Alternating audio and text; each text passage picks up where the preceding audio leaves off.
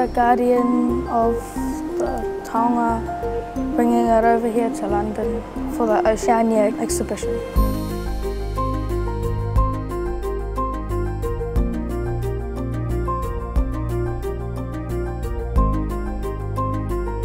It ties us back to our, our tupuna, to our ancestors, and to the journey they made across to Aotearoa, um, to New Zealand.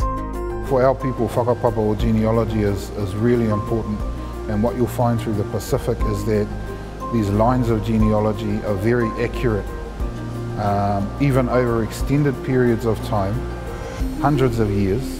We've now found that our whakapapa, our genealogy aligns very well to all the Pacific Island groups uh, through what is known as the Polynesian Triangle.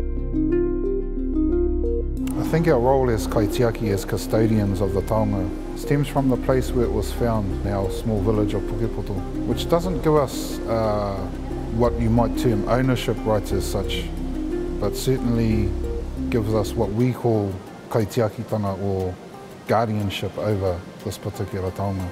And that comes with a range of responsibilities, including being open enough to allow others to experience and enjoy this taonga, which is also part of why, you know, why it's, it's very significant that it's come here to Oceania to allow that to happen. Seeing the two together is an affirmative for ourselves and even the stories that our ancestors have passed down.